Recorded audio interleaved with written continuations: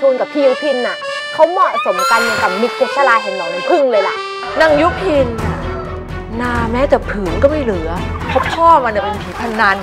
ขี้ลักขี้ขโมยแม่จะจับไอ้ยุพินแยกจากไอ้ไผ่ทูลยุพินเขาไม่ได้รักหนู มันจะมีแต่ความทุกข์ทรมานแสนสาหัสที่ต้องพรากจากคนรัก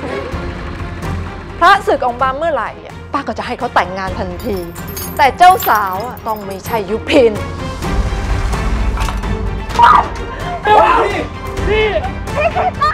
แล้วฉันจะไม่ยอมตายง่ายๆ ฉันจะอยู่จองเวรจองกรรมพวกมันให้ถึงที่สุด ถ้าฉันไม่มีความสุข พวกมันก็ต้องไม่มีความสุขเหมือนฉัน